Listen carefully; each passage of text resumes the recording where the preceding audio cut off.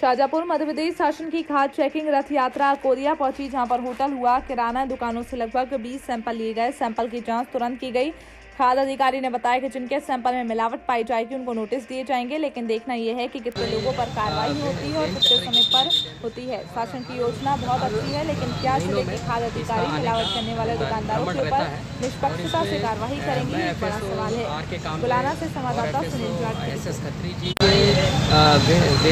पूरे ज़िले में और हर हर महीनों में इसका आने का रहता है भ्रमण रहता है। और इसमें मैं F S O R K Kamle और F S O S S Khatri ji और अपने केमिस्ट इसमें जो जाँच करने वाले मोदी जी, वो भी इसमें उपलब्ध है और तुरंत लोग सभी प्रतिष्ठानों की मतलब खाद्य पदार्थ की जाँच की जा रही है और उसकी जाँच रिपोर्ट तो तत्काल आ जाती है। तो सब प्राइमरी जाँच है ये और इसके अलावा अगर कुछ मिलावट या कुछ पाई जाती तो इनको नोटिस जारी किया जाएगा।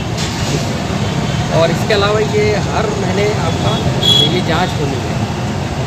तो कभी कोई मिलावटी घोल की कोई सूचना मिलती है तो किस तरह से उसका कार्रवाई होगी हाँ मिलावट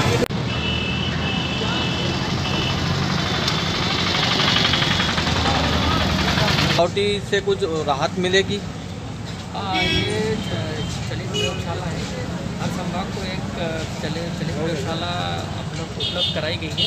इसके अलावा इसमें अपन तुरंत जाँच हो जाती है। प्राइमरी जाँच भी तुरंत हो जाती है। हमारे साथ केमिस्ट साहब भी हैं, राहुल मोदी जी। और ऐसे मैं हूँ आर के कामले खत्री जी। और इसमें तुरंत जाँच कर सकते हैं। और हम सभी प्रतिष्ठानों की जो है, उसमें मिलावट की जाँच कर रहे हैं। तुरंत जाँच जाती है, अगर इनको कोई मिलावट पाई जाती है तो नोटिस जारी किया जाएगा।